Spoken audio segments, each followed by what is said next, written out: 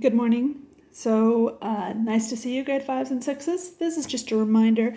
Follow my instructions that I gave at the beginning of the lesson about how you do this uh, work. Okay, so what we're talking about today is speed.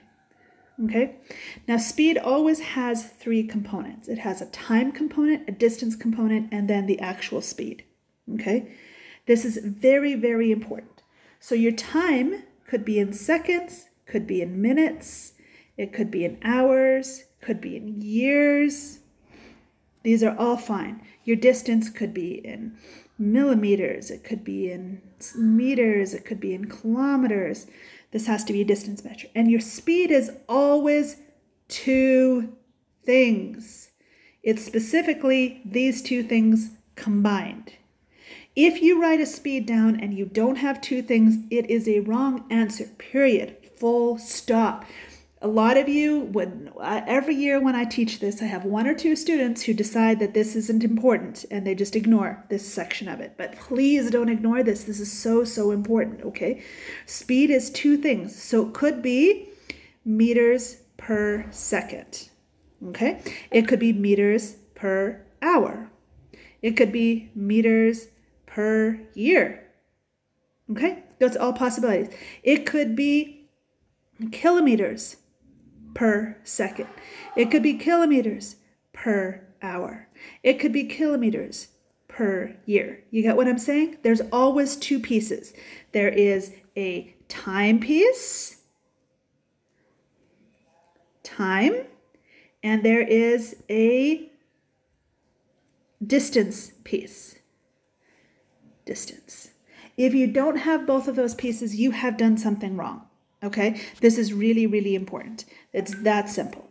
Okay, do not mess this up. Don't decide it's not important. This is the way it goes. Okay, so when it comes to these topics, we're looking at um, how we actually address these things. Okay, so the simple equation is very, very simple. It's not hard. Okay, is you have your distance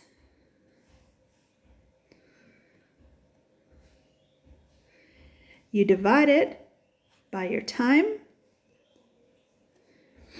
and you get your distance over time. Okay, so I'll give you an example of that. Let's say somebody drove 10 kilometers and it took them um, five minutes. Then your equation, therefore, is 10 divided by 5, which is distance divided by, that's what this line here means. It's kind of a divided by 9, okay? So what's 10 divided by 5? It's 2. You still need your units of measure though. 2 kilometers per minute. Okay, now this is where it gets really, really important. By doing this division, by putting time second, distance first, and time second, what I'm doing is I'm turning time into one. I could go two kilometers per one minute, but that's a waste of time, so I'm not going to do that. It's just two kilometers per minute. Okay, that is the point. That's what we're trying to accomplish here. Okay, that is my answer. I take my distance, which is 10, I divided it by time, which is 5. I get the answer 2. And then, as I said, I have to have two pieces in my answer. So I have my kilometer part, which I got from here, and I have my minute part, which I got from here. It's 2 kilometers per one minute. And it's always going to be the second thing, the time thing, should always be a per one. So you never have to write one. Okay? Now, this is actually really cool because we can express this in a triangle. Okay? And this is our triangle of awesomeness. All right? And the reason we want this triangle of awesomeness is because it helps us answer questions no matter which way we get an example. Okay? So here's our triangle of awesomeness. Distance is at the top. Speed is on this side right here. And time is on this side right here.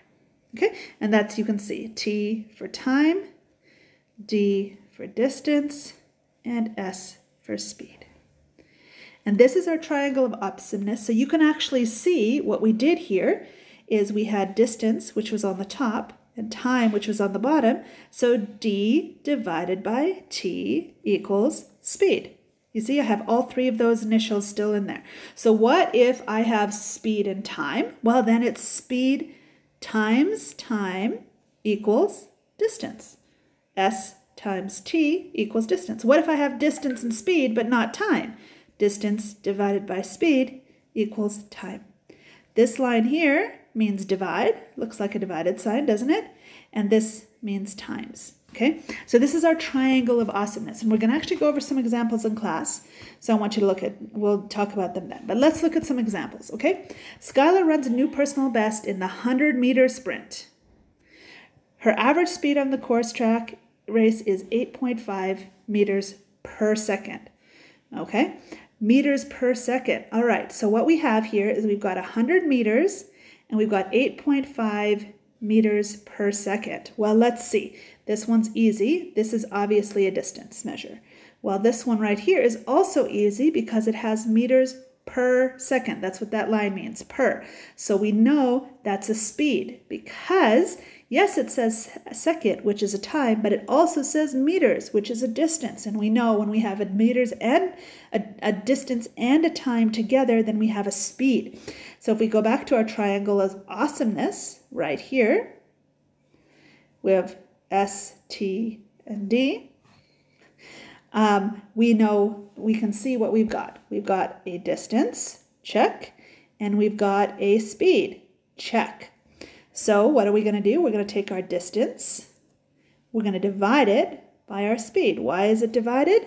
Because of this line right here. And we're going to let, get left with a time. Now, this is a meter, and this is meters per second, right? So if we want to know what's left over, we know we have to have a time left because that's what we're solving for, right? We're solving for the time. And what's my time? S. And these two cross each other out because it's a division question. All right? So when we do this math, we just do 100 divided by 8.5, and you can use your calculator for this. This gives us a massive decimal number, okay? It gives us something like 11.764705, and it keeps on going. But your if you ever end up with a decimal number, your book will tell you what they want. Maybe they'll say to, to they'll say to the hundredths place or the tenths place. We're going to round to the tenths place, so we're going to go 11.8 seconds, just like that. Okay, now let's do some more examples. Okay, we have a cheetah, and the cheetah was measured. It ran 112 meters in four seconds. So we want to know what its speed is, obviously, because we already have meter, we have a distance, and we have a time. So we go back to our triangle of awesomeness. Again, DST. All right, in this case, we have the distance and we have the time, and we're looking for the speed. That's what the S stands for, speed. It's still division though, so it's 112 divided by 4 equals, and as I said, I don't mind you using a calculator for this, just make because the part that I'm going to be really picky on is making sure that you do this right. So 28 is not my answer. I will not accept 28. Now that is the answer, but I'm asking for a speed. So it's 28 meters per second. Again, I'm going to keep repeating this because some people just don't get it. I need for a speed, I need to have a distance and I need to have a time. And this answer has both of them. It has a distance and it has a time. Okay, I'm to change one of my colors here because I have too many colors that are the same. Let's make that one purple. Let's make it thinner. And let's make this one blue and let's make it a lot thinner. Okay. All right, so now let's do another example. Okay, let's look at a car. All right, it goes 300 kilometers in 5.5 hours. Okay, so again, we've got a distance and we've got a time. So what we're looking for is speed. If we look at this again, we've got distance and time. So it's 300 divided by 5.5 and we get the answer which really interesting. 54.545454. Now this is a fun one. You can just round to the tens place, like I said, which gives us a 5. This one, interestingly enough, because it keeps repeating the same pattern, if we put a hat over it, we just know it goes on forever. But this would be your answer right here. But again, that's not our answer because what we're missing is kilometers per hour. Have to have that kilometers per hour in there. It's an essential piece of it. I thought I made that pink. That doesn't look very pink here. All right, here's another example. Okay, we have a person. In 15 minutes, they're running for 15 minutes, and they average a speed of 16 kilometers per hour. Okay, it's for a person.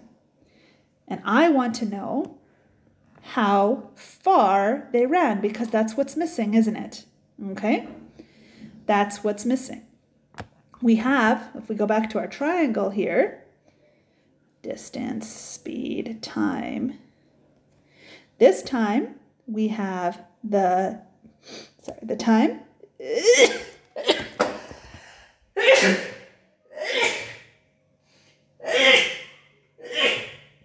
My goodness, I'm sure you didn't miss those sneezes for me in the classroom.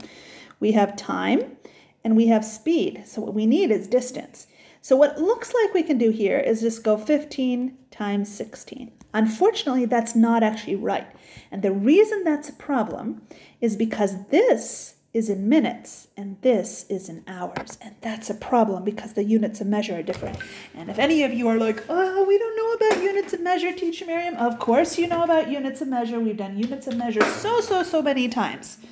All right, so to make this easier, we've got to turn 15 minutes into a certain number of hours. Now we know 15 minutes is less than one hour. We can't just turn this into a decimal. It would be 0.15 because we know there's only 60 minutes, not 100 minutes in an hour. So this is pretty simple. We just go 15 divided by 60 and that gives us a decimal. Okay, zero, the decimal we get is 0.25. 0.25. Remember, there's 60 minutes equals one hour. That's why we had to do that. We had to convert 15 minutes into an hour, so we had to go 15 divided by 60. It's very simple, not a hard one to do, okay? Now we've got an hour. Now we've got a math we can do. So we go 0 0.25, that's our hours. Uh, let's actually go in the order that we have it written here. Okay, so we take our speed, which is 16, we multiply it by our um, number of hours, which is 0.25. Remember, we have to do number of hours. So we do that math. all right.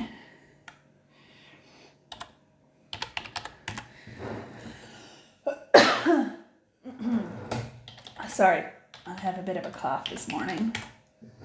All right, and we get the number 4. So the answer to our question is what? 4 kilometers. That's how far she goes. She goes four kilometers in 15 minutes, which I have to say is a pretty good speed. Okay? She should be really happy and proud of herself for that speed. That's quite impressive. All right. And then the last one, we have a car that's stuck in traffic. It's gone 12 kilometers in two hours. Okay? And that's another simple question, just this divided by that. So it's going six kilometers an hour. Okay, so that's basically an example of how all of that works. So on your speed worksheets, we're going to go and look at that. Each one of these, every time you get up with the speed worksheet, you've got to think about what it is that you're missing.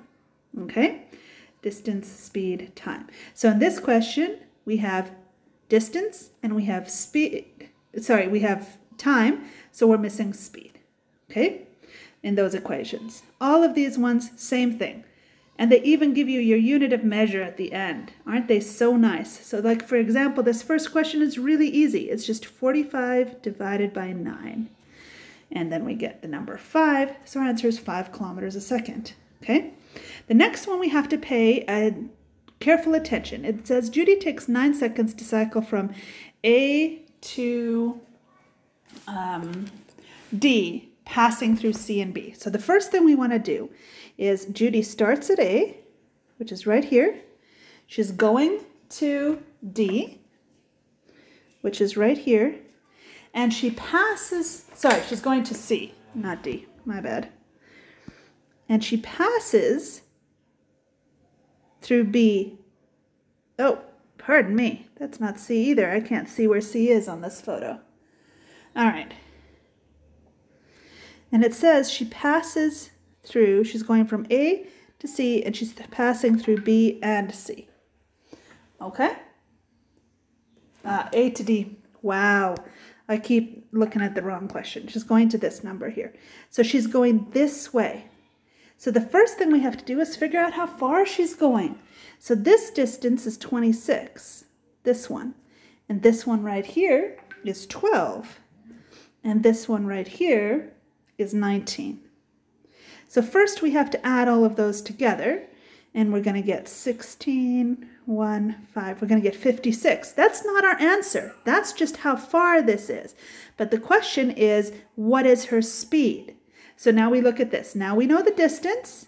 It's this many meters. It's 56 meters. We know her seconds. It's 19 seconds. So we've got 56 meters divided by 19. And that gives us the speed, meters per second. Okay? And then the same thing. Tony is hopping from A to C. Tony is hopping from A to C, but he passes through F. He goes this way. So the first thing we have to do is figure out how far he goes by adding those two together. Then we pick, figure out the speed. And then the last one, it takes Kathy 20 seconds to cycle back and forth between F and D. Okay, this is one that everybody gets messed up in. All right, F and D using the shortest route. So the first thing is you got to figure out which is shorter. Is this way shorter or is this way shorter? And the only way you can figure that out is by adding. But when it says back and forth, what it means is she goes like this and then back again.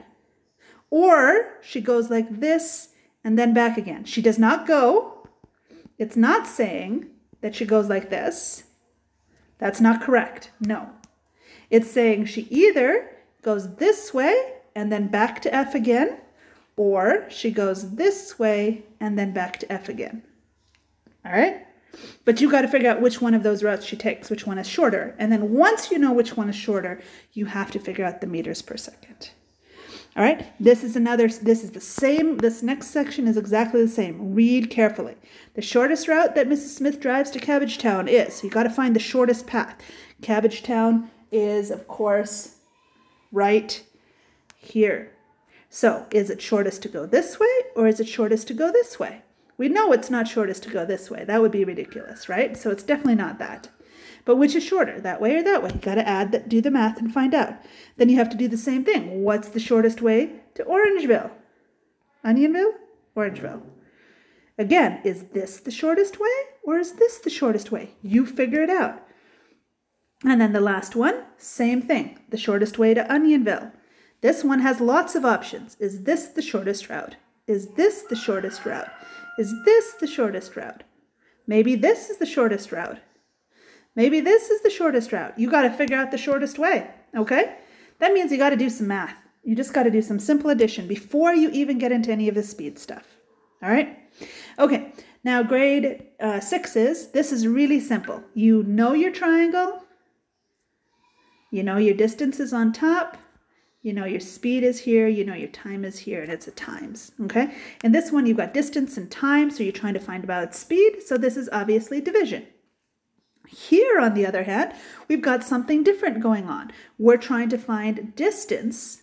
You have time and you have speed already. So in this case, you're multiplying. You're going the other direction, okay? Always, always pay attention to what your question is asking you, okay? What is missing from your equation? And then here's some word questions, same thing. Figure out what's missing from your equation.